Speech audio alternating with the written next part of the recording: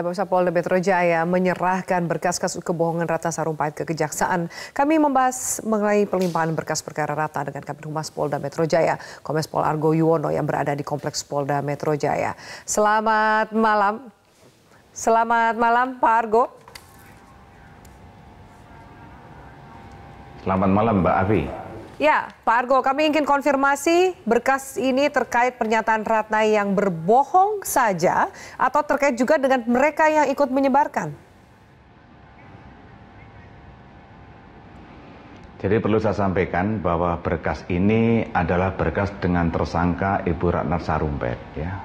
Kemudian daripada eh, kebohongan publik yang sudah dilakukan, tentunya penyidik kan tadi sudah disampaikan sudah memeriksa beberapa saksi tentunya nanti dari keterangan saksi, keterangan saksi ahli, dan barang bukti itu sudah eh, keyakinan penyidik sudah terpenuhi unsur pidananya.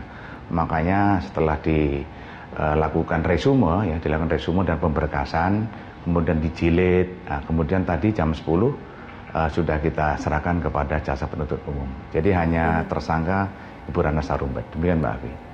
Pak Argo, sejauh ini apa yang menjadi alasan polisi belum memeriksa lagi orang-orang yang menyebarkan kabar bohong Ratna dianiaya, Pak Argo? Ya tentunya kan uh, penyidik uh, sementara ini terfokus kepada Ibu Ratna Sarumpait ya sebagai tersangka. Fokus inilah yang harus kita dahulukan. Nanti kita serahkan kepada jasa penuntut umum.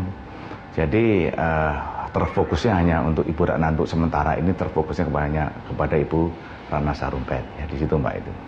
Oke, fokus masih ke Ratna, tapi ada juga orang pihak-pihak yang melaporkan orang-orang yang menyebarkan kabar bohong soal Ratna dianiaya ini, Pak. Apakah nanti juga akan uh, dilakukan pemanggilan? Seberapa lama fokus ini akan bergeser dari Ratna ke orang-orang yang menyebarkan kabar bohong? Ya tentunya nanti kan uh, penilaian penyidik nanti yang akan melihat ya daripada beberapa laporan yang diterima oleh Polda Metro Jaya ya. Ada beberapa laporan yang kemudian ada beberapa yang terlapor di dalam laporan polisi itu. Dan kemudian uh, dari penyidik sendiri dari Polda Metro Jaya terfokusnya pada Ibu Ratna. Karena yang uh, melakukan kebohongan publik adalah Ibu Ratna Sarumpait ini ya jadi sudah sekitar satu bulan lebih lah jadi kita melakukan penyidikan. Jadi kita terfokus ke Ibu Ratna dan kita ajukan dulu ke penuntut umum. Jadi kita uh, satu berkas dulu ini yang kita ajukan ke sana. Demikian Pak Argo. Oke, baik Pak Argo. Jadi tidak berhenti hanya di Ratna saja ya Pak Argo ya. Ini cuma tinggal masalah waktu saja, kurang lebih seperti itu kan? Ya, sementara dari penyidik seperti itu. Untuk kasus ini Ibu Ratna dulu yang kita ajukan. Demikian Pak Argo. Pak Argo, selama kejaksaan menilai berkas yang sudah diberikan oleh pihak kepolisian, apakah Ratna juga masih ditahan di Polda Metro Jaya atau bagaimana Pak? Nah, jadi kemarin ada dua kali ya daripada keluarga atau pengacara Ibu Ratna Sarumpait itu mengajukan permohonan penangguhan penahanan kota, pengalian di sana.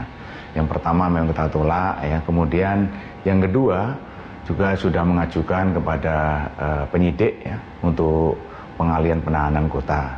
Setelah dilakukan penelitian oleh penyidik, ternyata pengajuan permohonan penangguhan tahanan kota itu uh, belum bisa dikabulkan. Jadi untuk sementara Ibu Rana masih kita lakukan penahanan di rutan Polda Metro Jaya. Demikian Pak Afi. -hmm. Pak, ada pengakuan dari keluarga mengatakan